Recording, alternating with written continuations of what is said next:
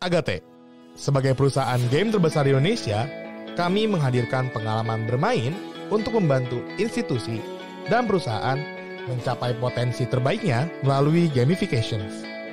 Berbagai inovasi gamifications untuk meningkatkan engagement di ranah human resource dan marketing tak henti-hentinya kami jelajahi. Kini, kami berupaya menyelesaikan sebuah misi, membagi pengetahuan dan pengalaman kumulatif kami untuk terciptanya kolaborasi dan inovasi gamifications termutakhir. Kami percaya potensi maksimal manusia bisa tercapai ketika pengalaman menyenangkan menjadi landasannya. Tekan tombol start dan selamat datang di Gamification. Halo semuanya, terima kasih udah join acara Gamification keempat um, dengan tema Game Design and Game Based Assessment and Human Psychology. Nah, saya Vincent. Um, saya mungkin bisa cerita dulu kenapa um, ada backgroundnya, kenapa sih ada acara ini. Um, jadi Agate, kita develop game uh, as a game company. Uh, awalnya kita uh, terjun pasti ya di, di consumer game. Um, kemudian um, beberapa tahun kemudian kita sadar bahwa oh ternyata skill kita di game development itu bisa dipakai di di ranah corporate juga. Kemudian kita ketemu dengan uh, beberapa praktisi di HR, di assessment, recruitment, um, ternyata menemukan bahwa oh game itu bisa dipakai buat buat kebutuhan uh, assessment dan recruitment loh, um, yang istilahnya terkenal dengan nama game based assessment. Nah hari ini uh, beruntung banget uh, bergabung bersama kita ada um, partner saya Erga, uh, creative director di Agate, co-founder juga. Halo Erga dan um, halo, Ibu halo. Kristiani Suwartono, Bu Kristiani PhD dan postdoctoral di Advanced Research Methods and Translational Science at the University of Illinois Chicago. Halo. Halo, selamat Kristiani. pagi semua. Pagi, senang banget bisa bergabung bersama kami di sini, uh, suatu kebanggaan. Ini um, kita senang banget karena ini cross cross industry talks dan cross expertise talks yang yang saya jarang banget terjadi ya um, dan seneng banget sih karena um, selama ini Agate kan ya kita hanya tahu dibikin game kita mungkin kemarin udah bikin uh, game based assessment yang yang dipakai di salah satu perusahaan um, Astra gitu dan ternyata uh, itu Bu Kristiani ini yang yang yang ikut terlibat untuk me, me, memvalidasi ya kemarin iya, menjadi ya. expert di sana. Ah, luar biasa itu is a short word gitu. Kita nggak tahu apa-apa ternyata oh sekarang bisa ketemu dan ya ini kesempatan yang yang um, menurut kami um, bisa kita bisa share baik lah di sini. Iya, ya terima kasih atas kesempatannya uh, Vincent dan Agate. Ya, uh, saya juga waktu itu pernah sebenarnya pas dihubungi oleh Vincent saya kayaknya pernah dengar ini ya. Terus ketika kita bertemu, wah ternyata memang ya kita bertemunya tidak secara fisik tapi memang sebelumnya pernah ketemu. Iya iya, iya iya iya iya iya. Persis ketika kemarin sempat ngobrol-ngobrol sama Bu Kristiani, uh, saya ngeliatin slide yang um, Astra, di Astra itu. Uh, wah ini ini membangkitkan memori lah. Project beberapa tahun silam. Iya iya.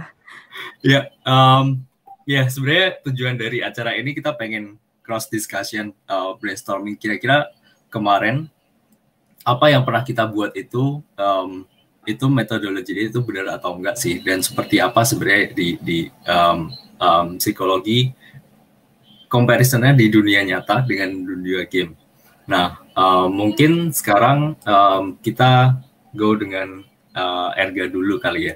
Um, ya boleh. Kita tahu dengan human psychology di dalam di dalam game itu ada macam-macam, ada player traits, ada ada um, gimana player traits itu bisa dipakai uh, di dalam game dan ya hmm. mungkin Erga bisa jelaskan itu. Uh, ya, jadi player traits itu kita bisa kategorikan uh, pemain terutama gamer ya uh, itu di uh, empat kategori uh, sebenarnya banyak metode untuk kategorikan player, tapi yang paling saya suka itu Bartol taxonomy. Jadi player atau gamer itu bisa kita kategorikan menjadi empat. Yang pertama itu uh, kita bilang dia explorer. Explorer itu orang yang bermain game itu dia senang mengeksplor gamenya sendiri. Jadi uh, traits yang paling kelihatan dari orang-orang seperti ini tuh dia benci kalau dikasih kalau main game itu questnya dibatasi oleh waktu, dibatasi oleh time gitu. Jadi kalau kita main game RPG terus kita hanya bisa milih satu dari tiga quest, nah mereka nggak terlalu suka yang seperti ini. Mereka pengen tiga-tiganya bisa saya jalani, tiga-tiganya bisa saya explore. Yang pertama, eh, yang kedua itu tipe explore, uh, achiever. Jadi orang-orang seperti ini senang uh, menyelesaikan suatu game benar-benar sampai selesai. Kadang game itu kan nggak semuanya harus bisa ditamatkan ya. Kalau kita lihat kita misalnya punya akun Steam atau punya akun Epic Games itu ada ada namanya achievement. Kalau kita mainin game tamat, mungkin kita hanya achieve sekitar uh, 20 persennya gitu. Sisanya itu biasanya achievement-achievement yang hanya dicapai oleh orang-orang yang benar-benar uh, niat bermain gitu. Seperti itu. Terus uh, muncul juga kategori pemain yang socializer. Jadi mereka adalah pemain-pemain yang bermain game itu senang aspek sosialnya ini biasanya orang-orangnya ini mainnya game MMORPG. Mereka main, mereka bersosialisasi di dalam gamenya kah? Bisa juga di mungkin di grup WhatsApp atau di grup chatting di luar gamenya. Uh, justru mereka itu nggak terlalu fokus terhadap gamenya sendiri. Jadi mungkin mereka bukan pemain yang paling jago di game tersebut, mereka bukan pemain yang paling kaya di game tersebut, tapi mereka tetap bermain game karena mereka menyukai aspek sosialnya. Terakhir itu yang kompetitif atau killer mereka mendapatkan kepuasan bermain itu dengan cara uh, paling jago, paling hebat, paling banyak membunuh di dalam gamenya tersebut. Gitu. uh, kurang lebih bisa dikatakan setiap, setiap individu bisa dikategorikan keempat itulah seperti itu. Oh jadi setiap orang itu sebenarnya punya trait itu dalam level yang beda-beda gitu ya sebenarnya? Iya betul ya. Jadi uh, maksud saya itu kayak kita bisa bilang hasrat bermain game kita itu selalu didrive oleh empat hal tersebut tapi biasanya ada satu yang fokus atau dua yang fokus sisanya itu kayak minor tapi tetap ada di dalam diri kita gitu oh I see nah ini nanya, nanya personal gak kalau lu hmm. sendiri hmm. itu tipe yang mana uh, sebenarnya gue kompetitif sih at some point ya jadi kalau misalnya kita lihat game kayak Dota gitu gue kan main Dota ya game yeah, Dota yeah. itu gue main dulu kompetitif karena gue senang uh, feeling uh, tegang dikejar-kejar pemain mau mati atau uh, kayak puas gitu kalau kita habis membunuh orang atau kita habis uh, menyelesaikan uh, membantai lawan seperti itu. Uh, tapi kadang-kadang uh, seiring dengan umur juga kita akan berubah biasanya seperti itu. Jadi uh, kalau dari fokus 4 dulu saya senang di kompetitif killing sekarang ini mungkin sedikit pindah ke explorer dan sosialnya gitu loh. Jadi saya senang main game tuh yang uh, banyak membangun-membangun gitu, terus banyak yang uh, ngobrolnya gitu. Jadi bukan lagi yang kerjasama lah, yang lebih kooperatif main game seperti itu. Ah, I see. Um, hmm. Tadi lu bilang um, seiring berjalannya waktu uh, hmm. traits itu berubah. Mungkin bisa dijelasin nggak ya? Uh, biasanya gini sih, uh, apa ya? Karena gini mungkin kompetitif ini gue akan tetap ada. Maksudnya kan uh, kalau kita lebih muda biasanya kita punya reaksi lebih cepat kita punya uh, ya lebih lebih cekatan lah gitu. Uh, ya, ya, ada mekanik-mekanik game yang uh, mengharuskan lu punya itu untuk lebih kompetitif lebih jago bermain. Tapi ketika ya, ya, ya, makin tua biasanya kita itu reaksi time-nya makin mundur gitu. Nggak signifikan ya, ya, ya. mungkin ya kalau di dunia real life itu nggak signifikan tapi kalau kita istilahnya bermain dalam game, perbedaan reaksi, perbedaan sekitar uh, 100 milisecond tuh ngaruh banget gitu. Betul, nah betul. itu yang membuat akhirnya uh, traits kompetitifnya itu nggak lagi bisa terachieve. Ketika nggak bisa terachieve tapi kita senang bermain, otomatis kita akan mencari hal lain untuk membuat kita tetap senang di dalam game. Dan itu biasanya shifting. Yeah, Mungkin yang full kompetitif, saya bermain itu yang cepat. Tapi ada juga game untuk yang maaf ya relatif lebih tua itu sistem kompetitifnya itu lebih ke arah kayak strategik. Jadi kayak misalnya kita punya game seperti card game, Magic the Gathering atau Hearthstone. Itu kan lebih ke arah strategis. Harus bisa menahan emosi kapan saya harus melakukan counter. Justru misalnya yang muda itu nggak cukup wise, nggak cukup wisdom untuk berpikir sejauh itu. Jadi sama-sama kompetitif tapi skill setnya berbeda. Nah, tapi kalau saya sendiri personalnya saya mulai berubah gitu. Yang dulu jago main Counter Strike sekarang karena usia udah ya. skillnya udah deteriorate. Begitu ketemu pemain yang lebih jago, kita mundur perlahan-lahan gitu kan. ya, ya, ya, sama sama sama. nah, um, sebenarnya dari player traits itu ngefek nggak sih ke dalam um, game design proses? Atau itu sebenarnya efek dari game design proses sendiri? Uh, pasti dulu ketika orang bikin game pertama kali nggak pikirin traits ini ya. Karena kan uh, gamer itu awalnya entertainment pure entertainment. Tapi in the end uh, seperti film lah. Film juga entertainment tapi lama-lama kita mulai bisa bikin genre film kan. Kan pasti nggak mungkin ketika orang pertama kali bikin film saya mau bikin film horror enggak gitu. Saya mau bikin film fantasi enggak Nah, tapi hmm. begitu seiring lebih banyak film atau seiring lebih banyak game, orang mulai mengkategorikan bahkan sampai nggak cuma filmnya tapi bahkan uh, penikmatnya seperti kalau penonton film mulai kita bisa kategorikan dan gamer kita bisa kategorikan juga. Nah, uh, sekarang dengan ilmu yang kita punya kita bisa membantu uh, proses untuk bikin gamenya itu sendiri gitu loh.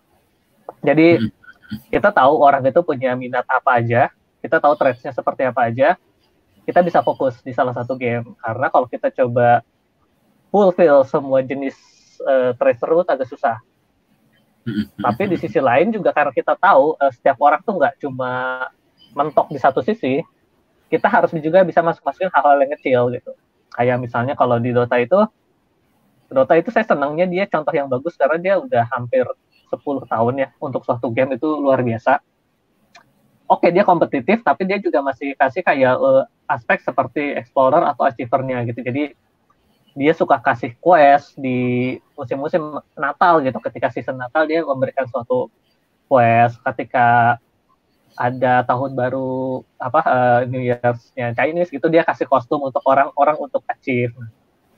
Itu kan kecil sebenarnya porsinya compare sama permainannya sendiri. Nah tapi mereka tetap bikin itu ada karena at some point orang pasti akan jenuh gitu ya kayak saya tadi misalkan killer saya itu akhirnya agak mentok gitu. Tapi saya masih senang cuma ya mungkin bisa dibus dengan uh, traits yang lain kepuasan yang lain.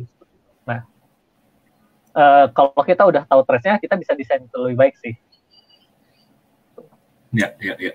Nah apakah sebenarnya dari awal hmm. itu um, kita targeting ke traits tertentu untuk dieksploit atau sebenarnya oh ya ini kita hmm. sadar bahwa yang penting ya udah orang main di sini uh, stay in longer longer longer run um, uh. tapi kayak trades itu itu adalah impact dari ya ya yang penting game desainnya jalan gitu atau ya. emang dari awal tadi trades itu dari dari uh, ketika kita bikin kita pasti harus uh, fokus ya ke satu trades gitu hmm. jadi uh, ya seperti saya bilang kalau kita coba achieve semuanya pasti uh, development time dan costnya uh, besar banget. Pasti kita fokus dulu ke satu. Uh, tapi yang penting ketika kita kita sudah bikin, kita harus sudah bisa mulai ngecek. Kita assess gitu, yeah. ternyata apa aja yang mereka punya gitu. Susah tapi bisa dilakukan. Kita yeah. bisa monitor kayak hmm, behavior orang main, kapan sih orang itu bounce ya istilahnya. Jadi ketika dia main game, berapa lama sampai akhirnya dia nggak nyentuh game itu lagi. Nah kita harus bisa tahu bounce itu karena apa, apa yang menyebabkan bounce. Begitu pula ketika pemain itu bertahan, di mana sih dia paling lama menghabiskan waktu, di mana paling lama dia menghabiskan energinya untuk achieve apa gitu. Yeah, nah, yeah. ketika kita tahu trends tersebut, kita bisa bikin uh, impact lebih bagus ke dalam dunia. Gitu.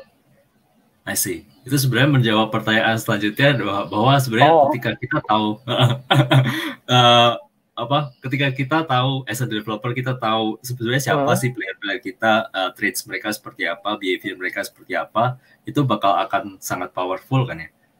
Karena yes, uh, kita bisa make improvement. Iya uh, jadi uh, kita tahu lah kalau kita uh, analisis produk kita ya game kita dengan detail kita tahu gimana kita create reward yang paling uh, menyenangkan buat player yang value-nya paling bagus untuk game tersebut. Gitu mungkin agak harsh ya kalau kita bilang uh, tiap player itu value-nya nggak sama, tapi itu faktanya gitu. Ada player yang uh, kasarnya dia itu spender lah. Kita ya. pasti yeah. sebagai developer juga harus memberikan dia kepuasan yang lebih daripada player yang uh, banyak toxic atau banyak ngerusak gamenya gitu daripada uh, ngasih free value. Uh, yeah, nanti yeah, mungkin yeah. Uh, Bu Siti mungkin juga bisa menjelaskan gitu. Itu kan seperti karyawan dalam suatu perusahaan ya gitu. Betul, Kita betul, harus bisa uh, tahu gimana memberikan reward yang paling sesuai dengan yang paling valuable seperti karyawan yang paling valuable di uh, perusahaan seperti itu sih. Ah, uh, ya, setuju sih. Uh, Bu Kristiani mungkin bisa ini menjelaskan ya kok ya, dari penjelasan sekilas dari Erga itu uh, kira-kira in correlationnya sama real life human uh, psychology itu seperti apa sih? Silakan Bu. Ya, terima kasih Vincent. Yang menarik sekali tadi uh, ceritanya Erga. Terus ketika Erga bercerita, saya berpikir, ya ya benar juga ya kayak seperti uh, manusia kan juga kita punya value-nya masing-masing. Nah, kalau untuk game, memang uh, karena game ini diciptakan untuk uh, entertainment dan hal ini harus menyenangkan dan uh, dimainkannya lama, mungkin uh, game itu menangkap banyak uh, traits dari manusia, uh, karakteristik manusia tuh tertangkap banyak sekali di game. Nah, uh, kalau di area saya di psikometri biasanya kami fokus, misalnya kami mau mengukur apa gitu uh, dengan game ini, sehingga uh, sangat spesifik. Uh, ya mungkin saja dalam satu game bisa terukur beberapa karakteristik uh, manusia, uh, tapi ya yang lebih ditekankan yang mana. Sehingga kalau mau semuanya itu nanti terakhir uh, kita bingung bagaimana validasinya gitu. Uh, ya kalau di uh, area psikometri sekarang memang berkembang um, pengetesan dengan game, terutama untuk seleksi karyawan, karena kan uh, kalau dengan game tuh uh, ketika mendengar kata tes orang akan stres ya, wah saya uh, khawatir, wah saya nanti gugup uh, dan lain sebagainya. Kalau uh, dilihatnya tesnya itu berupa game, sebenarnya lebih rileks sedikit lah uh, ya namanya tes di mana-mana pasti kita harus gugup sedikit lah. nah tapi uh, apa ya lebih ketika mengisi tes dibandingkan kita bermain game kita akan lebih lepas ketika uh, bermain game meskipun sebenarnya itu dites juga gitu. Uh, dan memang juga tidak semua bisa tertangkap karena uh, di mana-mana kalau tes itu adalah sampel dari perilaku. Jadi misalnya kita ingin uh, mengukur kepemimpinan gitu. Yang tadi kan ada uh, gamenya tuh uh, ya misalnya game berkelompok dan segala macam itu kita uh, lihatnya kepemimpinannya seperti apa dan tidak semua uh, karakteristik kepemimpinan itu mungkin tercakup di game ini, tapi setidaknya apa yang di uh, mau oleh uh, perusahaan ini untuk dinilai, untuk diukur gitu. Karena mm-hmm. kita ibaratnya memotret orang ini seperti apa ya. Gitu. Nah itu jadi uh, kalau di uh, pengetesan seperti itu. See. Nah sebenarnya ada uh, gimana sih sebenarnya apa backgroundnya kenapa uh, assessment itu diperlukan, Bu? Nah, uh, mungkin teman-teman sering dengar bahwa uh, kita tuh mencari orang yang tepat di posisi yang tepat ah, gitu. Iya, iya, gitu. Iya, Jadi uh, ya kalau misalnya kita uh, ngambil nih, misalnya kita mencari uh, seorang pemimpin, terus habis itu uh, kita milih orang yang uh, sociable, itu akan akan, akan sangat sulit gitu. Uh, karena ada kualitas tertentu yang harus dimiliki oleh seorang pemimpin ini sehingga uh, kita harus bisa mengukur uh, kualitas ini dan mendapatkan orang yang tepat. Ketika kita mendapatkan orang yang tepat uh, bukan hanya itu ke keberuntungan atau keuntungan dari perusahaan tapi juga keuntungan bagi orang tersebut. Jadi dia bekerjanya dengan rela, dengan senang uh, dengan senang hati dibandingkan kalau uh, orang ini sebenarnya dia tidak cocok menjadi pimpinan, dia dijadikan pimpinan, dia akan dengan berat hati untuk melakukan uh, tugas-tugas seorang pemimpin seperti itu. Oh, okay. Jadi ya, oh. jadi sebenarnya kalau untuk tes ini lebih ke arah uh, dua arah ya bagi uh, perusahaannya itu sendiri dan juga bagi uh, calon uh, pekerjanya sendiri karena ketika di tes itu dia tidak sungguh-sungguh atau dia uh, faking, uh, berbohong dalam tanda kutip, ya uh, nanti yang rugi juga dia sendiri gitu. Sehingga ya oh. saya sih merasa tadi dengan penjelasannya uh, Erga wah game ini menarik nih karena defense uh, mekanisme dari seseorang tuh bisa lebih turun lah gitu. Ah, asih, asih, asih. Nah sebenarnya kalau um, misalnya ya kita merekrut suatu orang bukankah um, seseorang itu pasti bisa berubah kan ya bu? Um, yeah. Ya, jadi um, apakah dengan menerapkan asesmen di suatu perusahaan itu kita ngelimit oh hanya orang-orang yang cocok aja yang bisa masuk? Apakah kita jadi kayak oh yaudah blocking bahwa uh, kita nggak berasumsi bahwa orang-orang ini uh, yang yang nggak sesuai sama traits yang kita pilih tadi misalnya itu emang nggak bisa berubah gitu. Nah, sebenarnya sih uh, ada berbagai level kan. Yang pertama kalau di perusahaan kan uh, kita level seleksi. Nah, kalau untuk seleksi itu sebenarnya kan uh, dari ribuan orang kita uh, misalnya ada tempatnya cuma 100. Nah, uh, kita ya mungkin orang ini memang berpotensi, namun pada saat dites, uh, pada saat dipotret, uh, potensinya nggak muncul atau potensinya tidak terlihat gitu ya uh, yang tadi juga uh, Erga bilang bahwa oh uh, dulu saya uh, main yang dengan yang speednya tinggi. Sekarang kayaknya lebih berkurang deh. Nah mungkin pada saat pertama kali dites uh, pengalamannya belum banyak gitu, ibaratnya belum makan asam garam dunianya lah gitu, sehingga masih pure gitu, uh, apa masih ya tidak fleksibel atau ya masih nggak bisa nih ini item uh, ini harusnya begini maka uh, dia nggak mau berubah gitu. Sedangkan seiring perkembangan waktu ada kemungkinan wah uh, oh iya ya saya berhadapan dengan orang tipe seperti ini saya harus berhadapannya begini. Orang tipe yang lain berhadapan gimana gitu. Sehingga pada pengetesan juga ketika kita rekrutmen kemudian nanti uh, promosi jabatan itu juga akan berubah gitu. Kan uh, nantinya kan setiap tahun kita pasti ada pengetesan pengetesan gitu. Uh, dari situ terlihat semakin sering kita dapat project, semakin sering kita interaksi dengan uh, misalnya uh, vendor lain, terus orang-orang lain itu kan menambah uh, ibaratnya kayak kemampuan diri kita untuk uh, apa ya beradaptasi, fleksibel dan segala macam. Uh, aturan tuh uh, ada, tapi perlu kebijaksanaan untuk menyikapi. Siapa tahu ya tidak selalu peraturan itu uh, apa ya uh, bisa berlaku hitam putih di lapangan gitu. Jadi ibaratnya uh, kalau kita pernah mengalami dalam tanda kutip marahnya jadi sah gitu karena oh ya di lapangan nggak bisa begini karena gini-gini ini uh, aturan ini uh, mungkin harus uh, lebih di apa ya ketika menjadi pemimpin oh ini tidak bisa diterapkan secara kaku ada hal-hal yang perlu diperhatikan seperti itu. I see. Jadi sebenarnya persepsi orang terhadap suatu misalnya tadi aturan itu bisa jadi berbeda-beda tergantung sama background dia ya. Iya, background dia sama pengalaman dia. Ketika kita oh. menjadi pemimpin kan uh, bagaimana caranya supaya tujuan kita tercapai. Nah, iya, kalau ya, ya, ya, terlalu kaku sekali, maka orang nggak akan kerja sama. Nah, bagaimana cara membuat orang untuk bekerja sama?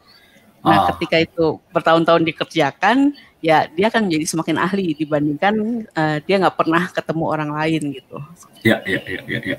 Wah, terima kasih banyak penjelasannya. Ini jadi kita kebayang um, cross ini ya. Selama ini kita cuma tahu ya, ya, ya di, di game itu dunianya seperti ini. Ternyata oh uh, di dunia nyata juga kurang lebih ada kemiripan nih yang yang bisa disinkronize antara ya di dunia nyata dengan di dunia game. Nah, um, kita lanjut ke next session. Kayaknya bahas bahasannya bakal semakin seru. Uh, kita bahas tentang assessment tools. Nah, lebih deep lagi ke dalam toolsnya itu seperti apa sih. Nah, uh, Bu Kristiani mungkin bisa jelaskan uh, gimana sih sebenarnya journey dari assessment tools itu dulu dulunya banget itu seperti apa sih history?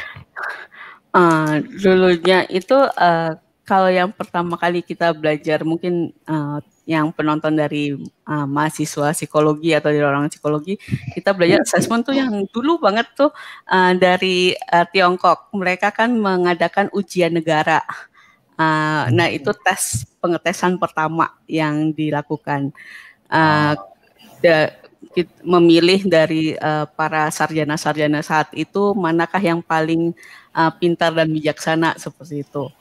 Nah kemudian itu uh, ada lagi yang di uh, kalau yang paling terkenal dalam assessment itu selalu tes inteligensi. Nah, yeah, tes inteligensi perjalanannya panjang.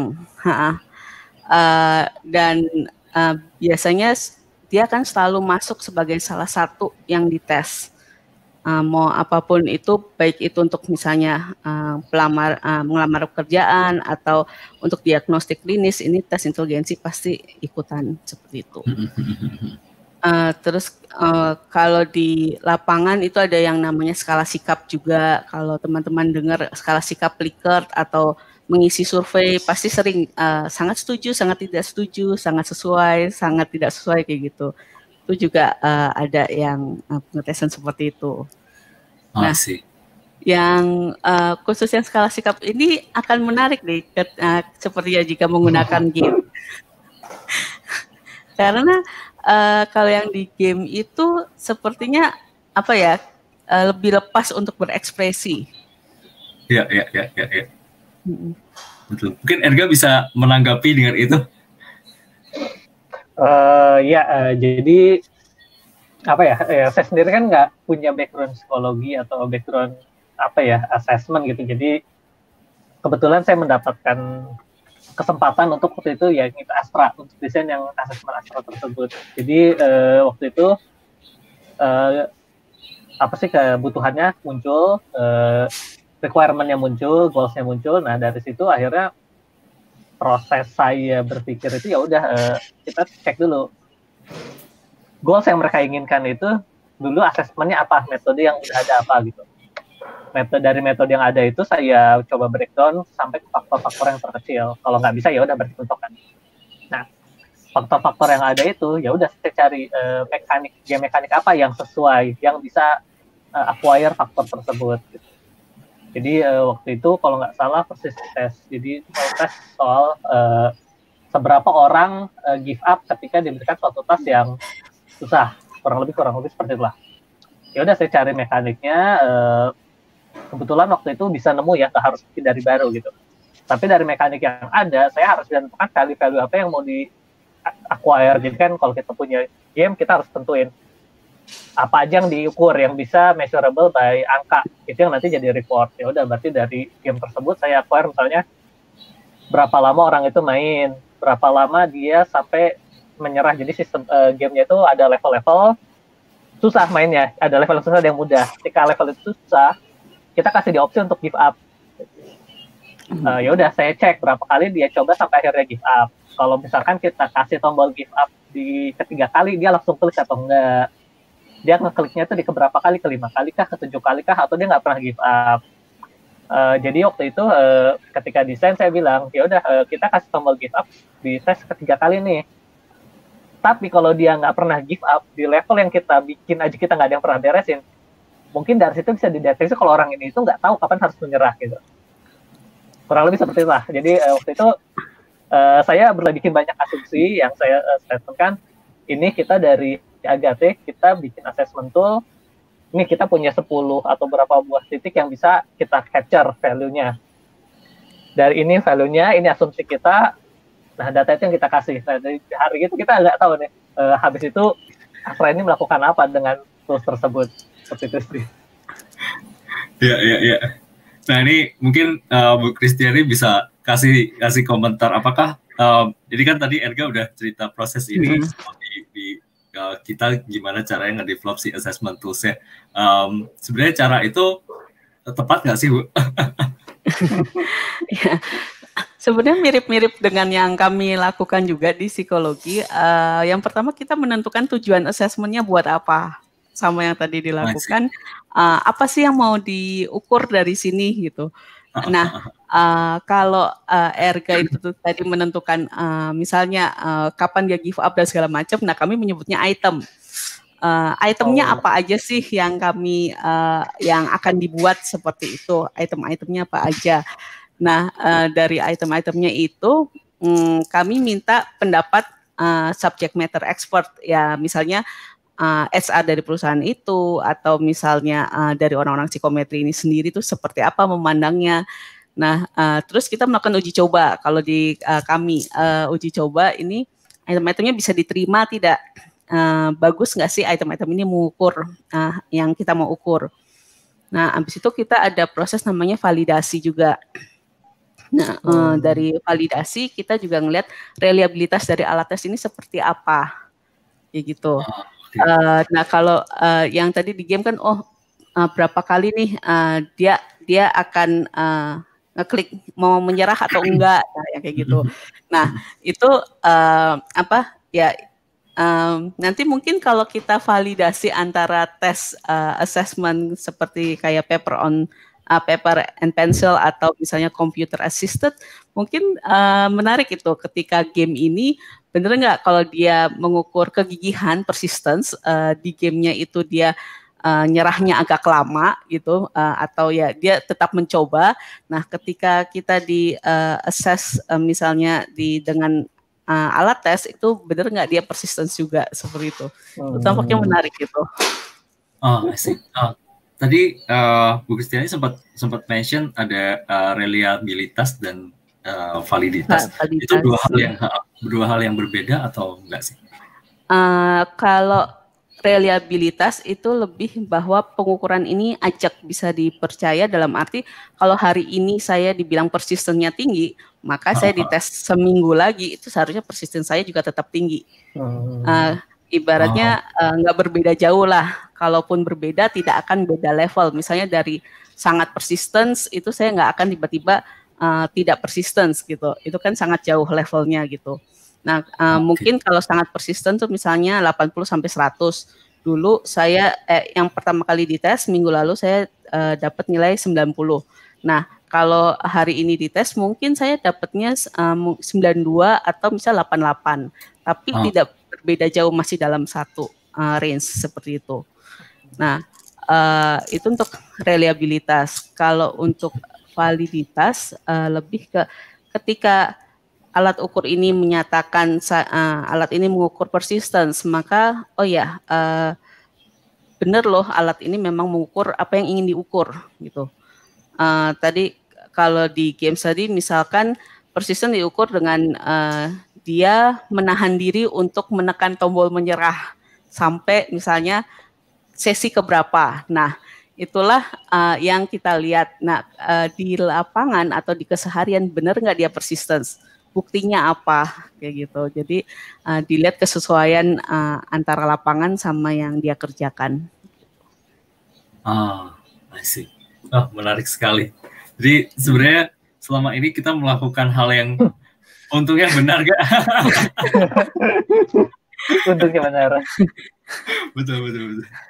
Nah, um, kalau valis, proses validasi itu uh, seperti apa sih, uh, Bu Stiani? Kalau proses validasi yang pertama kali tentunya yang content validation yang uh, uh, kalau di kami item-item ini uh, yang kita rumuskan kalimatnya hmm benar nggak mengukur uh, konstruk yang ingin diukur. Nah, hmm. kalau dalam hal ini mungkin kalau di game uh, benarkah uh, alur cerita yang dibuat atau game yang dibuat ini bisa mengukur uh, yang diharapkan seperti itu. Okay. Okay. Nah itu uh, content validation kita bertanyanya uh, kalau di kami ada di uh, dua bagian. Yang pertama kita ke expert uh, yang memang paham tentang konstruk yang ingin diukur ini. Uh, kemudian yang kedua kami juga menanyakan pada orang yang akan dites kira-kira dia juga paham nggak sih uh, face validity-nya gimana dia, validitas tampang. Image-nya uh, ketika dibilang alat tes ini mengukur kemampuan aritmatika misalkan uh, apakah oh. si orang ini merasa demikian juga atau enggak gitu. Merasa demikian tuh maksudnya merasa diukur merasa, skill aritmatika. Merasa diukur skill aritmatikanya seperti itu. Oh, I see. Karena ya. ada ada ada yang nggak oh saya nggak berasa di diukur kok tiba-tiba keluar hasilnya gitu Iya, kenapa kok keluar hasil tiba-tiba aritmatika ya? Kayaknya yang tadi diukur uh, cuman kemampuan tambah kali gitu, bagi oh. gitu. Nah, tapi kan uh, biasanya kita nggak akan bilang ke uh, partisipan kita konstruk benernya karena kan kadang kan jargon-jargon keilmuan kan susah dipahami. Uh, ya, ya, ya, kita pasti akan mendefinisikan uh, kasih definisi aritmatika seperti apa sih gitu. Ya, Ternyata kan kemampuan aritmatika itu juga meliputi uh, kemampuan menjumlahkan, mengurangkan, bagi kali seperti itu. Jadi ya seperti itu kan berarti eh, ini sebenarnya mengukur aritmatika juga gitu menurut si uh, partisipan meskipun uh, kata-katanya berbeda tapi maknanya sama. Ah oke. Okay. Nah um, next tadi mungkin Erga udah uh, singgung sekilas tentang gimana sih cara mendesain dari assessment game dan um, ada nggak sih gak uh, metode uh. lain di kita untuk ngedesain um, sebuah assessment game itu atau ya strictly itu based on goals yang mau di achieve seperti apa nanti kita make assumption dari uh, pengalaman kita dalam uh, game design. Uh, yang kedua sih uh, pasti kita startnya dari goalsnya ya. Uh.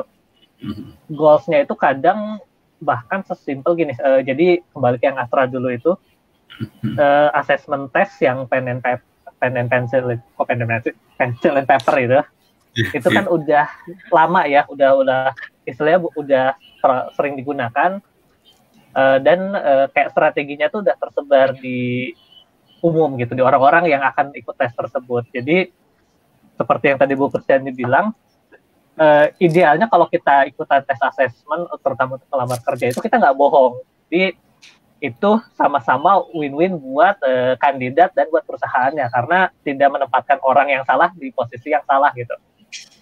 Ya, ya. Nah, uh, tapi kan ada orang yang saya mau posisi ini walaupun dia nggak cocok gitu. Akhirnya dia cari tahu gimana caranya saya bisa manipulasi hasil tes. Nah, mm-hmm. itu uh, klien-klien kita tahu gitu. Oh, itu dilakukan oleh orang akhirnya jadi lus-lus buat keduanya dan itu kan jadi waste money, waste time gitu. Mereka pengen asesmen gitu justru gimana sih biar orang nggak tahu apa yang diakses gitu. Jadi yeah. biasanya berangkatnya kita selalu harus mikirin uh, apa ya, mikirin tes yang udah ada itu gimana caranya dikemas di dalam bentuk yang baru gitu. Walaupun yeah, yeah. Indian itu biasanya bikin new problem ya, new problem yang eh, kadang-kadang suka dipertanyakan seperti misalnya kita kan pasti gamenya digital kan. uh, enggak terutama interaksi bahkan sesimpel interaksi. Oh, ah. kita mau akses untuk uh, kemampuan manajerial, tapi orang yang di akses itu yang istilahnya uh, generasinya lumayan tua gitu kan. Jadi mereka nggak terlalu ngerti digital gimana asesmen ini valid bukan uh, valid atau gimana asesmen memastikan bahwa tidak ada kesalahan dalam uh, karena itu gitu. Dengan, iya betul. Iya, uh, nah itu kita juga agak susah gitu. Karena kan selama ini tesnya pakai pencil dan paper, sesuatu yang mereka kerjakan puluhan tahun sekarang tiba-tiba asesmennya digital yang ini apa? gitu. Nah kita kadang-kadang kesulitan di arah sana gitu sih. I see I see I see. Jadi, sorry ini intermezzo sedikit ngomongin paper and pencil. Um, kemarin saya mencoba buat menulis tangan setelah hmm. sekian lama menulis tangan itu somehow itu skill itu kayak hilang gitu jadi nulis nulis apa nulis, nulis nama ini salah salah gitu Gak tahu ini terjadi di teman-teman atau enggak atau cuma saya aja. Gue, gue selalu menulis, gue selalu menulis. Oke, oke, oke. Berarti cuma saya aja. Apa? Oh, muscle memory lost. Oke, oke. Ya, um, ya ini menarik sekali. Jadi kalau di di um, jadi kita coba bedah gimana sih cara cara kita uh, develop assessment tools. Dan sebenarnya um, kalau tadi uh, Bu Kristiani udah sempat mention juga ada ada um, validity sama reliability itu dari alat tes yang reliable dan valid hmm. itu sebenarnya apa sih benefitnya terhadap um, ya terhadap usernya atau terhadap perusahaan yang mewakili itu.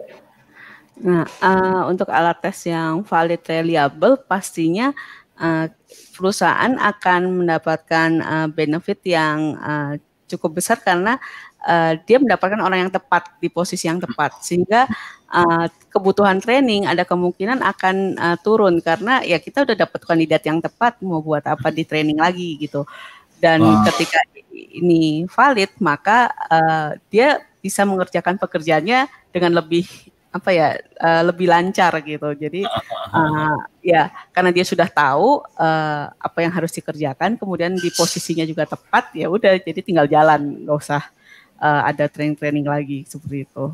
Ah, I see, I see.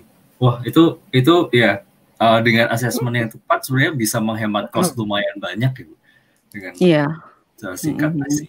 Ah luar biasa.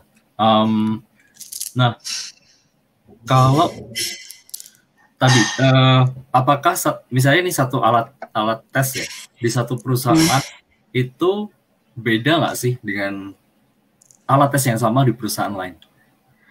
Nah itu uh, biasanya sih setiap perusahaan kan punya budaya perusahaan sendiri-sendiri, kemudian oh, iya. ada uh, value yang dijunjung tinggi uh, itu berbeda satu dengan yang lainnya gitu. Uh, biasanya kalau perusahaan akan membuatnya uh, customize khusus uh, dia di perusahaan dia oh, sendiri. Gitu. Jadi kalau kita ke penjahit baju, maka itu khusus buat bajunya untuk saya saja, tapi nggak bisa buat yang lain. Yeah. Gitu. Uh, tapi tidak tertutup kemungkinan bahwa ada tes-tes standar di luar uh, sana. Biasanya kami di psikologi ada alat tes, uh, misalnya alat tes IQ, alat tes uh, yang lain gitu, yang uh, bisa yang generik lah, yang ibarat semua perusahaan bisa uh, misalnya yang untuk rekrutmen. Contohnya uh, saya dan teman-teman uh, kami membentuk uh, satu usaha namanya Higher Grade. Nah, kami membuat tes itu ada uh, inteligensi, uh, kemudian minat dan energi. Nah, uh, kami percaya karena setiap orang minimal uh, memiliki tiga ini nih. Dia uh, punya kapasitas kognitif yang baik, kemudian dia juga punya minatnya ada. Nah, tapi uh, kedua ini nggak cukup kalau misalnya uh, dia nggak punya energi untuk melakukannya gitu. Jadi kita uh, tes juga tuh energinya seperti apa. Nah, ini yang menurut kami uh, bisa dilakukan di uh, semua assessment itu gitu. Jadi uh, ya kami juga mengembangkan menggunakan, menggunakan game juga untuk mengukur energi. Ah, oh, dahsyat. Mantap, mantap, mantap. Ya, ya, ya, ya. Uh, iya, nah kalau uh, mungkin balik ke Erga ya, dari huh? tadi compare sama uh, assessment tools yang regulars, um, apa aja sih benefits dari uh, game based assessment itu? Ya, uh, biasanya kalau compare sama yang reguler dan ini juga salah satu alasan kenapa mulai banyak yang pakai ya. Itu biasanya kita digital itu bisa ke apa kompetitifnya itu kayak kita bisa dapat kayak datanya itu real time gitu. Real time satu. Kedua kita uh, long term sih uh, lebih efektif secara cost gitu. Karena kan kalau digital uh, bikin awalnya mungkin agak berat tapi ketika replicate itu mudah gitu. Uh, tools yang udah ada ya biasanya kita bisa porting kalau memang muncul platform-platform baru. Atau misalkan kebutuhan uh, yang tadinya di PC terus sekarang orang goes to mobile digital itu tinggal di porting gitu. Seperti itu. Satu kedua uh, itu yang kedua yang ketiga kita bisa apa ya uh, dapat behavior yang lebih netral tadi karena tes-tes yang pen and pencil itu eh paper and pencil itu udah lumayan banyak orang yang bisa manipulasi gitu jadi waktu saya dapat dari klien yang lain ya bukan yang Astra. Uh, saya coba-coba simple gitu cari tes uh, misalnya apa ya saya lupa pokoknya ada satu jenis tes uh, tes. Itu saya coba googling yang muncul tuh contekan kalau pakai bahasa Indonesia ya. Contekan mengerjakan tes psikologi ini gitu. Terus buat apa tes psikologi pakai contekan gitu kan? Dan itu kalau muncul di first person artinya orang-orang mulai uh, faking the test gitu itu kan nggak natural lagi dan itu uh, kita pakai digital uh, kita bisa tweak sedikit, uh, orang akan melihat, oh kok tesnya berubah gitu, nggak seperti yang saya sudah punya TK ada. Bisa seperti itu juga. Uh, bahkan uh, kita bisa bikin yang lebih dynamic. Jadi misalnya gini, kalau kita ada ujian tadi, ujian untuk ngetes IQ, uh, pakai paper dengan 10 soal gitu. Hmm. Itu kan setiap orang dapat pertanyaan yang sama ya, dari pertanyaan 1 sampai 10 gitu tapi kalau digital itu kita bisa ngasih tes yang 10 pertanyaan tapi evolving. Jadi orang yang udah bisa jawab pertanyaan satu itu nggak dikasih pertanyaan yang selevel lagi. Kita uh, up naikin levelnya. begitu dia bisa jawab lagi pertanyaan lebih tinggi kita up lagi jadi kita tahu potensi atasnya orang itu nah kalau kita bikinnya kalau pakai metode lama yang 10 orang dikasih so soal yang sama uh, ya udah kita nggak tahu nih kalau dia bisa nyelesain 10 10-nya ya kalau bener semua pintar. Tapi kita nggak bisa compare dua orang yang sama-sama 10 10-nya benar. Tapi kalau kita kasih terus dinaikin naikin naikin kita bisa tahu oh ternyata gapnya ada loh di antara dua orang ini. Begitu pula dengan yang uh, kurang bagus gitu. Kalau dia nggak bisa jawab pertanyaan nomor satu, tapi dari satu sampai sepuluh selalu scaling up, ya kita kan bilang orang itu bego gitu. Tapi kalau misalkan nggak bisa pertanyaan nomor satu, secara digital kita bisa turunin levelnya. Dua, dia nggak bisa jawab lagi, turunin lagi. Pertanyaan nomor tiga, oh dia bisa jawab. Coba kita naikin lagi, bisa jawab nggak? Oh bisa. Kita naikin lagi, bisa jawab nggak? Oh bisa. Oh ternyata mungkin orang itu sebenarnya mungkin bisa jawab pertanyaan nomor satu, tapi mungkin dia tegang di awal tes seperti itu. Jadi uh, digital itu anaknya dynamic ya, kita bisa styler per uh, per, uh, per satu orang. Cuma emang trade off-nya kita harus tadi uh, validasi dan reliability testnya itu yang mungkin masih belum bisa diterima oleh banyak pihak gitu. Karena kan baru ya, sesuatu yang baru biasanya standar ada resistance gitu. Tapi we must change gitu kan karena ya tadi kalau kita search uh, psikologi tes yang munculnya contekan itu kan agak prihatin jadinya seperti itu sih. Iya iya iya iya. Ya. Um, nah, ada ada komentar nggak ya dari Bigisnya nih? Iya benar itu. Uh, kami juga menyadari bahwa banyak bocoran uh, alat tes di luar sana yang sebenarnya uh, apa ya ketika orang dites lagi tuh udah hafal jawabannya apa gitu. Bukan karena dia tahu uh, kemampuannya dia dia menjawab gitu. Itu juga yang menyebalkan sih. Kami juga dari psikometri juga sebel karena effort untuk membuat satu alat tes tuh sangat besar. Itu udah waktu tenaga pikiran itu tuh terus habis itu hilang tiba-tiba karena ada contekan gitu. Nah uh, sebenarnya sih juga mau uh, apa ya mau me gugah teman-teman sekalian itu nggak usahlah uh, cari-cari contekan seperti itu. Benar-benar kerjakanlah sesuai kemampuan masing-masing karena yang rugi pasti diri sendiri nantinya gitu. Karena yeah. kan salah ini ya salah tempat akhirnya. Nah uh, ya terus untuk yang tadi menanggapi yang soal uh, apa uh, mungkin orang resistance terhadap game atau uh, yang segala macamnya Sebenarnya kalau kita bikin uh, alat tes, kita pasti ada tutorialnya juga, ibaratnya uh, cara mengerjakan alat tes. Nah, mungkin dari situ juga uh, bisa apa ya, me, uh, mengurangi resistance. Oh, ternyata gampang ya, oh. bisa ya kayak gitu.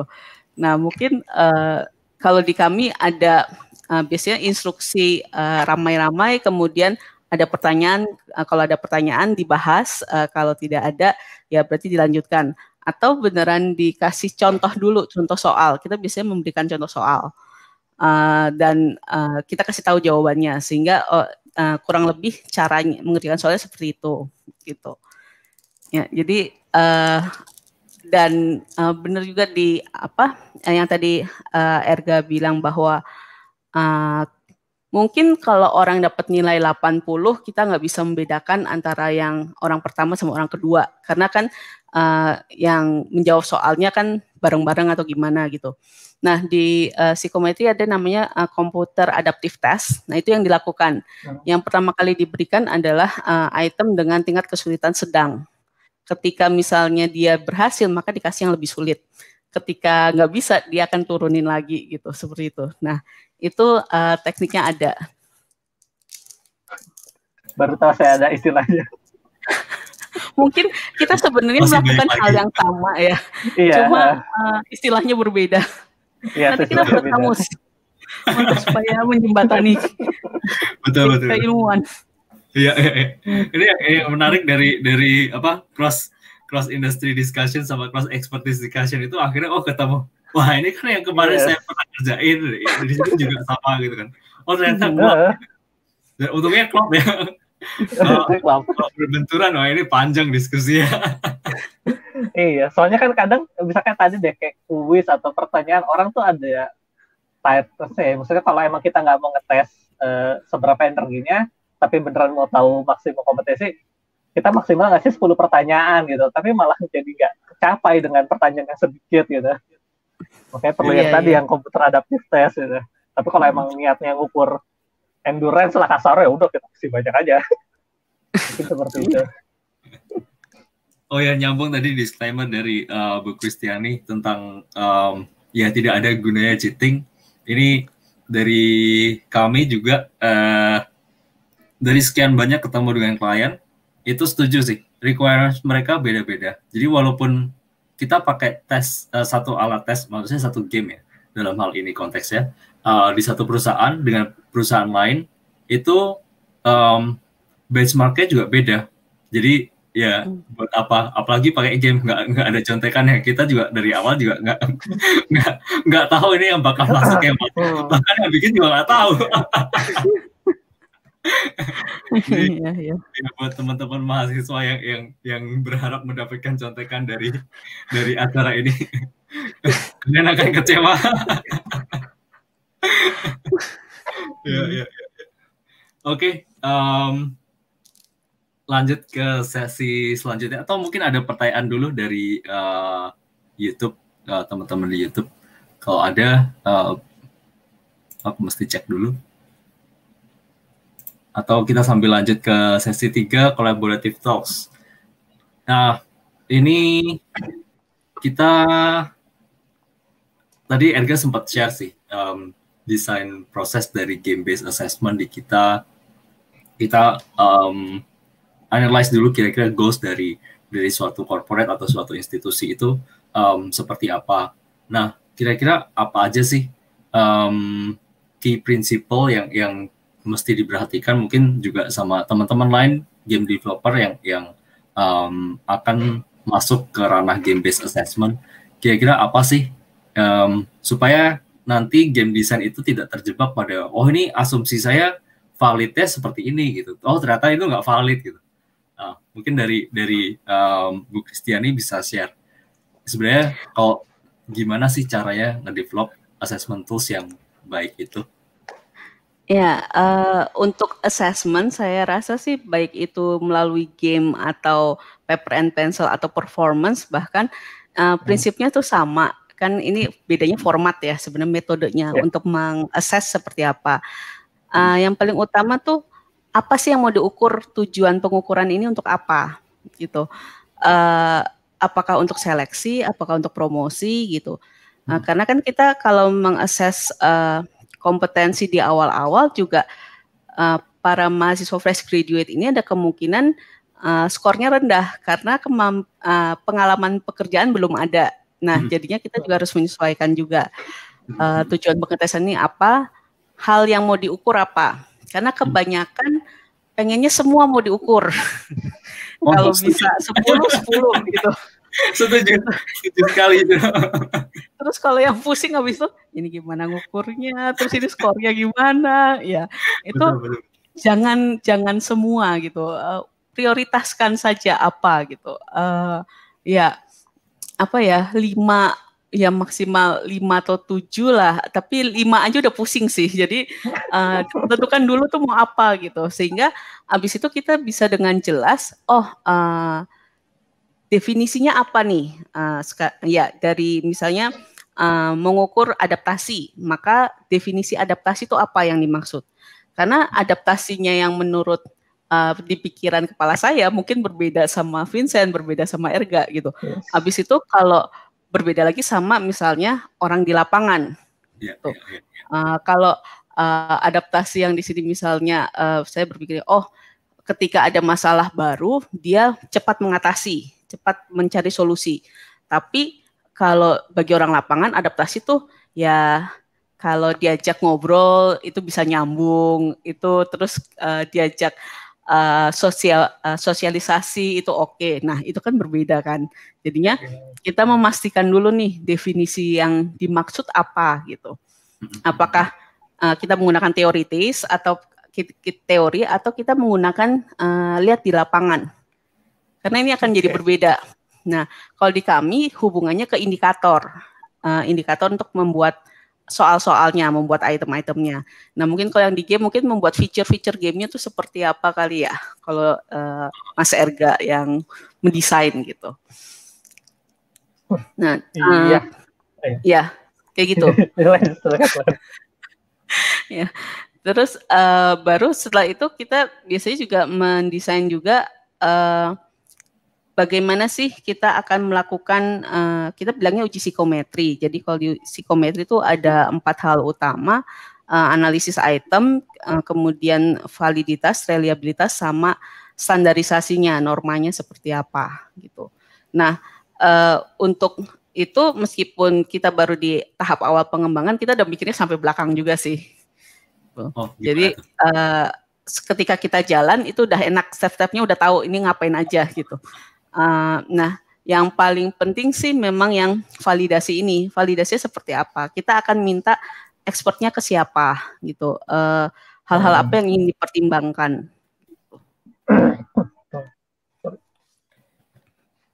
Nah, um, ini ada satu term yang yang dulu uh, saya belajar banyak dari teman-teman Astra, uh, Mas Brian. Um, kalau kita ngedesain suatu suatu ini kalau konteksnya di di game based assessment itu jangan sampai bias.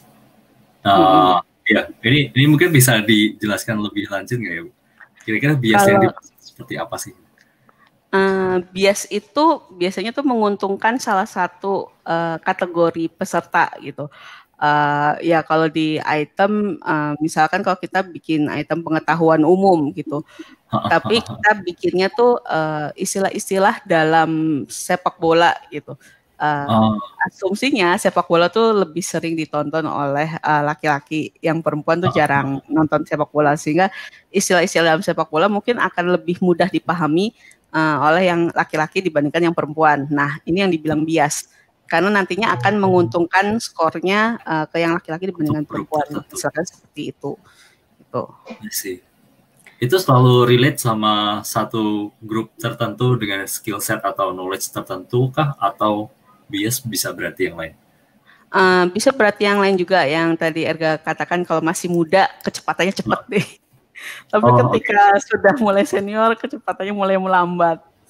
Nah, oh, itu kan okay. jadi kita tidak bisa membandingkan uh, tesnya tuh bersamaan gitu. Nah, ini yang kalau di psikometri kita bilangnya norma. Uh, kita membandingkan dengan orang yang seusianya juga. Gitu. Uh, jadi misalnya kalau orang usia uh, 18 sampai 20 tuh skor uh, misalnya skor 60 tuh mudah dicapai. Tapi kalau misalnya dia udah tua, ya uh, skor 60 tuh justru bagus banget. Berarti dia masih ada kecepatan reaksinya lebih uh, masih cukup bagus gitu dibandingkan yang 18 gitu. Sehingga kalau mendapatkan skor 60 di yang uh, lebih senior itu akan lebih bagus dibandingkan ya yang junior ini gitu. Oh. Jadi ibaratnya kita apa ya uh, mengkalibrasi orang tuh dalam satu ukuran yang sama gitu. Hmm. sih. Um, kalau dari Erga apa aja sih dari pengalaman lu sampai um, sekarang udah bertahun-tahun dalam uh, terlibat di game based assessment design? Itu apa aja sih yang bisa di share key principles ya? Uh, tadi sih bener pasti goals nomor satu. Karena kebanyakan juga kan kita uh, bukan bikin kita bikin untuk satu klien tertentu ya. Jadi kita cari tahu dulu goalsnya. Uh, mirip-mirip, uh, kadang-kadang emang harus memastikan kita ini sejalan, uh, bukan sejalan, satu bahasa kayak tadi uh, sama-sama definisinya gitu, sama-sama itunya. Uh, dan tadi banyak yang seperti tadi uji psikometris itu kita halamin, kita uh, kita juga menemukan masalah, tapi kita nggak tahu istilahnya kayak tadi seperti uh, norma. Jadi dan bias kayak uh, ini menguntungkan orang yang lebih melek teknologi atau enggak gitu. Uh, gimana dengan orang yang nggak melek teknologi? Ini lebih menguntungkan orang-orang yang di kota enggak karena uh, kita menggunakan termin-termin yang atau jargon-jargon yang umum di, uh, di kota tapi tidak untuk di daerah. Padahal kan bisa jadi kandidat terbaik justru kandidat dari daerah karena mereka lebih uh, eksos di hal-hal yang lain. Uh, ini ini kita juga alami dan kita juga kadang-kadang kesulitan menjawab. Gitu. Kita juga sulit memastikan bahwa uh, tools yang kita bikin ini valid, gitu. terutama biasanya ketika harus uh, buktinya itu by number ya. Jadi gimana suatu ide bisa kita bilang kita punya data valid atau enggak kalau toolsnya sendiri bahkan belum jadi gitu. Kadang-kadang itu juga kesulitannya. Jadi kalau kita mengajukan, uh, oke okay, untuk kebutuhan klien kita yang A, kita punya toolsnya A. Tapi ketika klien nanya, terus validity A gimana? Karena ini baru, kita belum tentu saja kita belum punya datanya. Jadi kita ya tadi uh, kalau kita bilang asumsi itu kan kayak terdengar riski ya karena asumsi, tapi istilahnya gimana kita membuat suatu tools yang yang baru, yang unik, tapi ya eh pasti belum ada datanya gitu. Ini ini seperti cari karyawan fresh grade tapi udah punya pengalaman kerja gitu. Kurang lebih kayak iya, gitu lah. Nah itu itu itu, itu biasanya uh, pengalaman yang uh, susah dan makin sini syukur kita makin jago untuk uh, bisa memberikan poin-poin lain untuk proving uh, assessment tools ini pasti harus uh, uh, apa evolve gitu. Ya, ya, ya. Sama ini mungkin ya. Um, yang pasti sebisa mungkin kita nge-track sebanyak mungkin data yang bisa di-track kalau di, di game base. Um, yes. Karena kita ya hmm. sadar bahwa ya ini ini satu tools yang mungkin sekarang cuma bisa mengukur ABC, tapi uh, in the future itu sampai DEF, GH itu bisa jadi terukur juga karena patternnya yes, udah uh.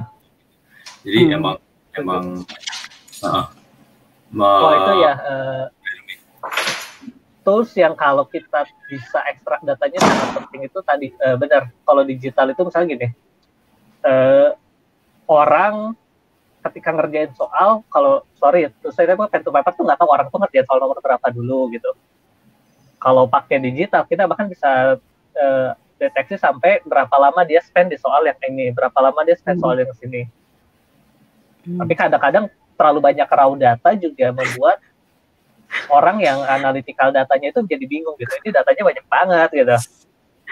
Jadi apa ya? Misalnya kalau kita di data apa ya analytical data gitu yeah. terlalu banyak jangnya gitu. Ini saya dikasih data ini, saya juga bingung sih pakai enggak gitu. Jadi malah kebanyakan data nggak bisa diproses apa. Akhirnya hasilnya yeah. ya, ya, nah itu juga agak trik di sana untuk menentukan kita bisa deteksi semuanya, kita bisa ukur semuanya, tapi perlu nggak sih deteksi semuanya atau hmm. um, tadi kok uh, Bu Kristiani sempat hmm? mention um, mau ada ada klien yang pengen apa ya uh, yang dites itu itemnya itu banyak gitu. Uh, hmm. atau uh, normsnya banyak atau kompetensinya banyak. Itu resikonya apa sih sebenarnya? Kalau dari kita kan mungkin mikirnya oh ya udah ini ini ini uh, simple ya. Uh, time and cost-nya nambah gitu. Resiko lain Oh, resiko yang paling utama sih yang tadi Erga bilang, ketika semua data masuk, ini data mau diapain ya? Nah, oh. itu masalah itu dimulai. Iya, nah, yeah, jadi uh, apakah beneran ketika uh, yang di assess itu uh, kas mengukur uh, kompetensi tertentu kah atau ini kayak beririsan? Kalau semakin banyak irisannya itu semakin susah karena kan ibaratnya uh, ke kompetensi yang kita ingin ukur itu justru uh, apa ya kita sampling ya. Kalau ke, hal yang kita sampling ternyata uh, nggak nggak independen ibarat kayak inilah uh, kita bikin uh, perwakilan daerah. Nah, uh, kita misalnya uh, bikin perwakilan daerah, kita ambil uh, orang Jakarta untuk mewakili Jakarta, orang Bandung mewakili orang Bandung. Nah, yang kita harapkan orang Jakarta ini benar-benar tahu kondisi Jakarta dan dia hanya mewakili Jakarta. Tapi misalnya dia pernah tinggal juga di Surabaya, pernah tinggal di mana gitu, sehingga uh, ingatan dia dia juga bisa mengkombinasikan data di uh, Surabaya misalnya di tempat lain tempat lain. Nah, sehingga kita tidak punya kekasannya Jakarta apa sih gitu. Asik, uh, gitu. Jadinya uh, di satu sisi mungkin bagus, tapi sisi lain jadi nggak spesifik gitu. Uh, yang padahal yang kita mau dengan uh, kita membuat tes itu sebenarnya kita sampling perilaku dari semesta yang ada dan kita harapkan sampling ini yang benar-benar khas mengukur uh, hal yang ingin kita ukur ini gitu, tidak mengukur hal yang lain. Nah itulah uh, ketika uh, di psikometrik kita ada namanya misalnya uh, faktor analisis untuk uji validasinya. Jadi kita benar-benar yakin bahwa item ini memang benar mengukur uh, si uh, konstruk yang ini. Oh, kita bilangnya konstruk kalau untuk hal yang Ya, ingin ya. diukur. Jadi Oh, cari konstruknya uh, hal yang diukur ini benar-benar nggak hanya diukur oleh item ini karena kalau dia mengukur yang lain berarti ada korelasi uh, error yang terjadi di sini tuh terjadi di tempat lain gitu. Dia karena dia tidak murni mengukur indikator yang kita mau. Oh, I see. Ya, ya, ya, ya, ya. Jadi eh, itu juga menjawab em, gimana caranya supaya kita bisa minimize the re- apa resikonya itu dengan Mhm. cara eh, pasteurize ya antara iya eh, eh, construct tadi satu itu Iya. jangan sampai ini mengukur kalau misalnya tadi ada 10 oh satu ini jangan sampai mengukur 9 yang lain gitu ya. Iya, iya. Jadi eh, keunikan masing-masing konstruk harus terlihat gitu. See, I see. Wah, pusing sih. Semakin banyak, semakin pusing. kita di perkuliahan ya. belajar dua semester loh. Iya, iya, iya, iya. Ya. Kita kita mencoba untuk mensimplify semuanya. Ternyata nggak semua bisa disimplify. Iya, iya, iya, iya. Oke, mungkin ada ada pertanyaan dulu nggak dari Edga ke Bu Kristiani dan sebaliknya sebelum kita lanjut ke next ini. Dari gua sih nggak ada sih untuk sementara. Mungkin nanti deh dari kalau ada pertanyaan dari audiens bisa Oh, oke. nambah-nambahin gua. Oke, oke, siap, siap. Oke. Em, Bu Kristiani mungkin ada pertanyaan. Kalau kalau dari saya, saya ingin tahu kalau eh, biasanya bikin game itu eh, berapa lama sih dari awal sampai selesai? Kemudian gamenya sendiri ini berapa jam atau berapa menit kayak gitu sih? Nah, oke, itu Edga Oke. yang tepat Ya, bisa eh, menjawab. Eh, justru kita balikin biasanya eh, kalau untuk durasi kita tahu cari tahu dulu biasanya asesmen ini mau dipakainya apa? Apakah ketika eh, orang itu datang ke lokasi terus ternyata dikasih iPad untuk kerjain atau dia bisa take eh, tes dari rumah gitu gitu itu biasa kita akan dari kebutuhan pemakaian kita bisa tahu durasinya berapa. Tapi itu nggak pakem. Jadi misalnya kadang-kadang dia pengen durasinya cepat eh, tapi setelah kita desain kita perlu durasinya nambah. Itu kita akan bilang oh setelah kita desain ternyata durasi 10 menit ini nggak cukup. Orang kalau mau eh, selesai tes ini kita harus collect data minimal dia main misalnya eh, satu jam. Nah, kita akan bilang seperti itu. Tapi biasanya startnya Hmm. kita udah chat dulu kebutuhan kliennya kayak gimana? Itu. Terus Hmm. kalau untuk eh, dev time dan cost development itu kembali ke eh, disesuaikan sama fitur biasanya. Jadi kita kalau eh, desain suatu assessment tools gitu kita thumbs up dengan eh, dua atau tiga ideas eh, terus tiga dua dan tiga ide itu kita kasih variasi di development time dan development cost itu Hmm. Eh, biasanya sih itu ujung-ujungnya time dan development cost itu kembali ke fiturnya. Seberapa kompleks untuk dikerjakan.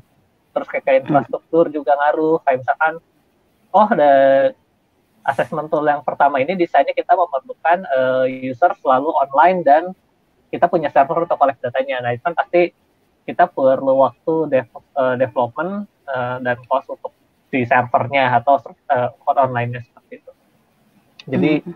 variasinya nomor satu yang menentukan desain eh, dari situ sih cost dan time eh, muncul seperti itu sih kurang lebih Oke.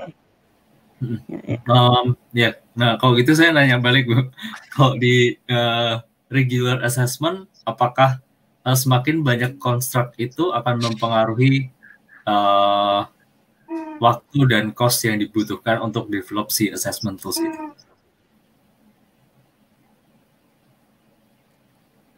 Ka- kalau yang apa? Maaf, Vincent. Oh, semakin semakin banyak construct itu mempengaruhi eh, waktu dan cost Oh. yang dibutuhkan untuk develop. Oh assessment. Ya, sama seperti pembuatan Sama games ya. itu juga uh, tergantung skopnya, kemudian latar belakangnya seperti apa, apakah fresh graduate S1, S2 atau gimana, Uh, kemudian ya uh, berapa jumlah item yang diinginkan di hasil akhirnya itu juga mempengaruhi. Berapa ah, form yang dimau gitu. Karena kan tadi uh, kalau misalnya hanya satu form yang dibuat Uh, misalnya orang ini datang terus ngetes uh, nggak lulus kali ini, yang kedua datang soalnya sama, yang ketiga dia udah hafal semua. Iya. uh, dalam develop ini pasti develop beberapa form gitu. Ya, ya, ya, ya. Oh, I see. Jadi ya satu orang itu dengan orang lain bisa jadi punya experience yang berbeda gitu ya. Iya, uh -uh. Oh, itu kita okay. makanya kadang membuat bank soal. Oke, oke, oke. Ya, ya mirip sih sebenarnya. Uh, bang soal itu juga metodologi yang kita pakai juga. Um, terutama yeah. buat yang di part yang learning sama ini ya exam ya. Jadi biasanya kita kasih bang soal uh, dengan quiz mechanics itu. Tapi ya mirip-mirip sih. Ya yeah. ini uh, ada pertanyaan Q&A dulu uh, dari Wah ini teman kita bersama Bu. Apakah hasil pengukuran dengan menggunakan games ini dipengaruhi oleh minat orang terhadap bermain games? Misal uh, yang suka main games hasilnya lebih baik. Um, ini Erga mungkin bisa jawab. ya, gue bilang pasti mungkin kejadian sih. Maksudnya gini, uh, ini ke hal yang lebih dasar ya. Kemampuan orang untuk menangkap sesuatu juga kan beda tuh. Ada yang pakai visual, ada yang pakai musik, ada yang ngerjain suatu kinestetik. Nah, uh, satu media pasti uh, exhaust di hal tersebut compare to media yang lain gitu. Game itu sangat exhaust di biasanya di visual, visualnya sangat menarik, sangat bagus. Jadi orang ketika dikasih main game dia pasti bisa menerima lebih banyak hal. Compare misalnya sama uh, pencil and paper ya yang relatif lebih flat tone, warnanya hitam putih gitu. Uh, dari kemampuan orang untuk menangkap informasi aja pasti akan memberikan advantage di orang yang, yang uh, berbeda gitu jadi kalau dibilang apakah uh, itu akan menguntungkan tadi ya semi-semi bias ya pasti ada satu media pasti akan meningkat uh, meningkatkan uh, kemampuan orang untuk menyerap informasi compare to media yang lain. Begitu juga dengan game. Gitu. Ini ya kalau menjawab dari situ sama kedua effort apa sih yang hmm. bisa kita lakukan untuk meminimalisir tadi uh, bias itu kali ya? Oke, okay, uh, eh, effort yang kalau dari saya sih tadi uh, kalau emang kita coba target marketnya lebih luas, kita pasti akan coba interaksi yang uh, nggak perlu menggunakan waktu. Kita pasti akan berikan waktu yang lebih uh, jadi misalnya gini, kita desain tes ini selesai dalam waktu 30 menit, tapi kita tahu average orang kerjanya 15 menit. Kita double the time untuk memfasilitasi orang-orang yang uh, sedikit lebih lambat dalam adaptasi terhadap media game seperti itu. Terus kayak kalau ya tadi misalnya kita lebih pilih ya udah pakai sistemnya diklik aja. Kita menghindari uh, yang real time. Kita menghindari interaksi-interaksi yang uh, umum digunakan di game tapi tidak umum perlu diketahui orang-orang gitu. Kayak misalnya uh, secara refleks mungkin kita yang orang yang kenal gadget itu pasti tahu kalau ngezoom itu kita pinch gitu oke okay, uh, eh, pinch itu adalah uh, sesuatu informasi yang orang orang teknologi tahu. Tapi gimana dengan orang yang nggak teknologi nggak tahu. Jadi mungkin kita kasih kayak slider dengan kaca pembesar gitu. Kaca pembesar itu kita bahkan di situ pun masih berharap orang tahu kaca pembesar fungsinya apa. Jadi untuk zoom itu instead of kita cuma pakai pinch kita kasih uh, istilahnya user interface orang bisa slide untuk ngezoom. Bahkan atau mungkin kita kasih tutorial di awal untuk melakukan zoom gunakan yang di sebelah kanan ini menghindari tadi gamer gamer-gamer punya advantage di assessment tools yang emang menggunakan game.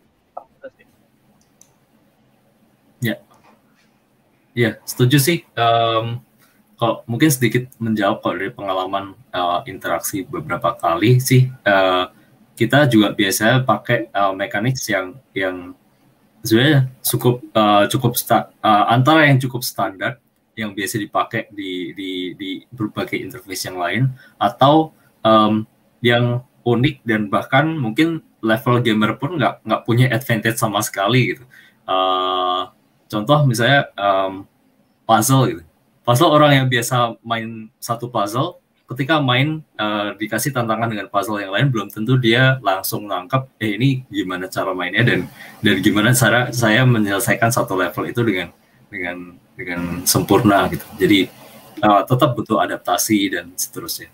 Hal yang sama sama orang yang non game ya tinggal karena kan ya interaksinya sama ya tinggal pencet aja lagi kok ya interface-nya cukup simpel sih jadi lebih lebih uh, kontrol kita lebih lebih banyak lah di sana um, nah mungkin ada pesan kalau dari Bu Kristiani kira-kira uh, gimana sih seharusnya buat uh, mengatasi uh, bias tadi terhadap uh, gamer mungkin uh, ada kesempatan mencoba sih, kesempatan oh. berlatih gitu. Uh, karena di uh, psikologi sosial itu ada uh, alat tes namanya implicit association test itu pakai komputer juga interaksinya dan itu ada sesi latihan. Nah uh, biasanya tuh uh, sesi latihan selalu diperkenalkan sebelum ada sesuatu yang baru gitu dan uh, ya sesi latihan ini sih nggak dinilai karena ini cuma uh, eh, tahu misalnya kalau ada gambar uh, A maka dia harusnya digolongkan ke kategori A, gambar B di kategori B gitu.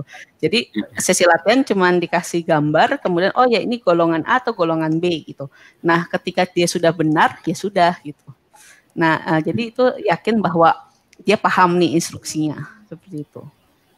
Ah ya ya ya. Jadi semacam uh, tutorial kali ya kalau di dalam game itu iya, tutorial iya. tapi bisa orang bisa ngerjain nggak cuma lihat gitu. Iya, oh, iya, kan iya, tutorial iya. banyak juga yang bentuknya cuma video kan. Betul. iya, iya.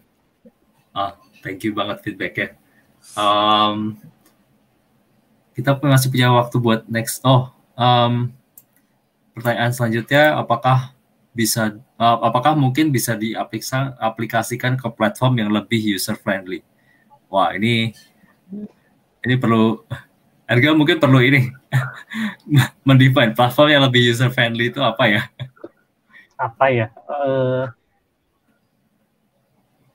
kalau gini, kadang-kadang kita, kita assessment tuh uh, kita developnya harus hanya bisa dimainkan di komputer gitu. Terus uh, banyak juga request akhirnya kenapa sih nggak coba uh, bikin yang bisa dimainin di komputer, bisa dimainin di mobile. Di beberapa desain tertentu itu bisa dilakukan, tapi kadang-kadang kita harus desain yang kompleks gitu. Jadi misalnya kita uh, bikin asesmen tool untuk uh, promosi atau manajerial level. Itu ketika kita rubah dari satu platform ke platform yang lain uh, agak susah karena tadi akhirnya di platform yang lebih inferior itu kita harus cut beberapa interaksi atau kita cut beberapa fitur yang uh, mungkin akhirnya hanya menguntungkan orang-orang yang udah ngerti cara main game gitu sih. Itu itu yang uh, misalnya agak jadi hambatan lah tapi bukan berarti itu nggak bisa.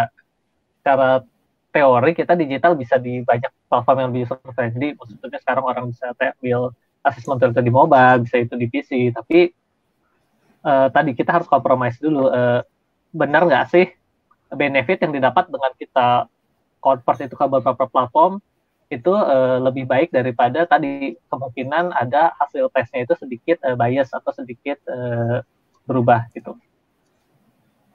Iya betul sih. Um, yang nambahin mungkin dari Erga, um, kau sebaiknya sih uh, satu institusi itu udah uh, tahu gimana nanti mereka akan distribute si assessment uh, game based assessment atau assessment content ini um, either itu via web atau via mobile karena tadi setuju sama Erga interaksi yang bisa di, dilakukan di, di, di walaupun ini mungkin mirip-mirip ya tapi uh, bisa jadi uh, banyak faktor yang kalau di di assessment di dunia nyata mungkin nggak ada tapi kalau di digital tuh jadi ada. Contoh oh kalau di web tuh butuh internet connection gitu wah ternyata wah itu jadi jadi fatal gitu.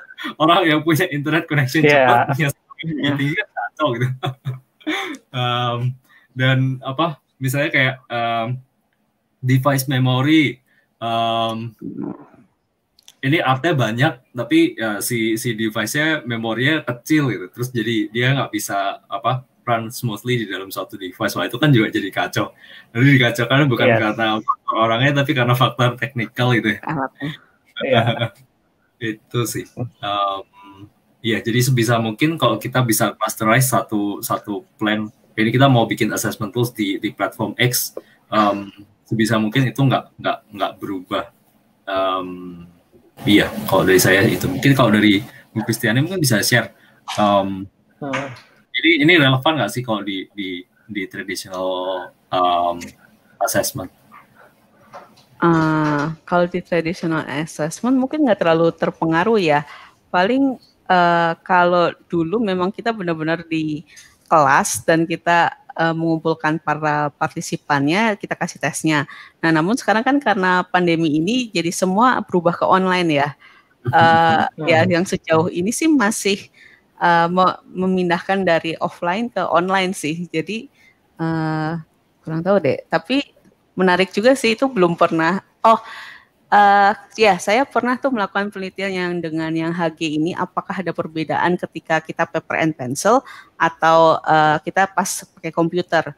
Nah, uh, tidak ada perbedaan secara skornya. Jadi untuk uh, saya kan bikin, uh, kami memiliki tes kognitif itu ada uh, penalaran, pengetahuan umum, aritmatik, sama processing speed.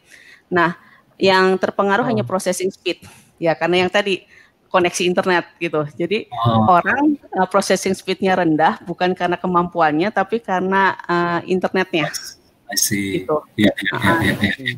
Jadi sih selama itu uh, mengerjakannya ada waktunya dan tidak berdasarkan uh, kecepatan uh, pengerjaan itu skor antara uh, paper and pencil sama yang di komputer sih sama nggak ada okay. tidak berbeda signifikan. Ya, ya, ya. Yes, yes.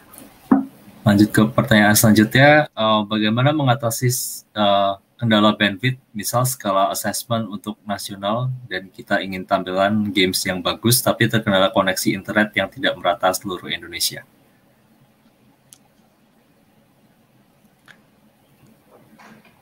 Nah, ini Erga mungkin bisa jawab. Hmm. Wah, susah. Kendala bandwidth sekarang. Masalahnya kendala bandwidth ini eh, pertama kan kalau tadi eh, kalau kita ngomongin konten digital secara umum lah, ada konten digital yang kita install di dalam komputer kita dan ada konten digital yang kita streaming gitu. Kalau testing bentuknya streaming pasti koneksi bandwidth itu mempengaruhi banget di tadi eh, kalau kita harus eh, ngetes yang bentuknya uh, real time, kecepatan menyelesaikan masalah, kecepatan menjawab pertanyaan. Uh, itu bisa di solve dengan cara orang itu uh, download dulu semua tesnya ke dalam komputer dia atau ke ponsel dia dan untuk aplikasi.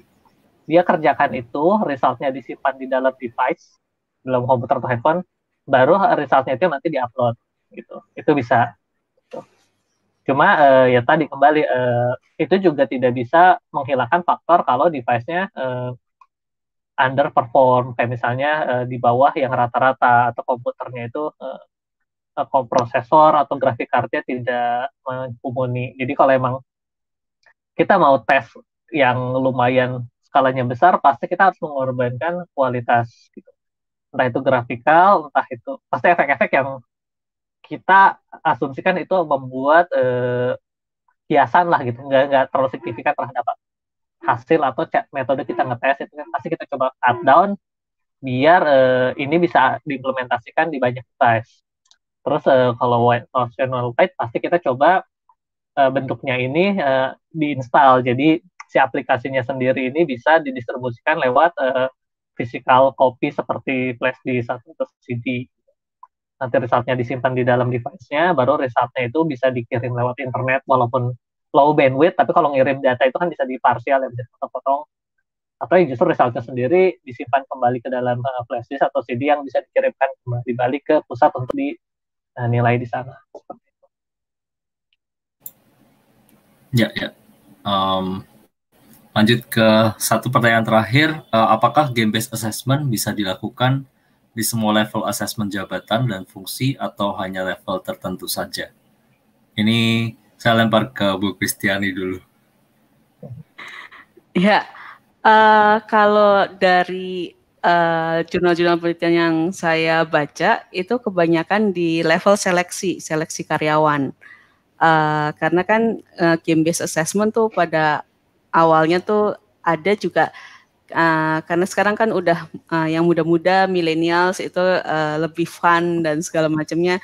Dan juga uh, selain fungsi uh, pengetesan uh, untuk seleksi karyawan juga bisa sebagai uh, apa ya kayak brand image dari perusahaan bahwa kami uh, mengikuti zaman loh bahwa ini menyenangkan dan uh, pengalaman uh, pengetesan di tempat uh, kami itu menyenangkan seperti itu. Jadi uh, bisa ah. juga buat uh, fungsi perusahaan itu.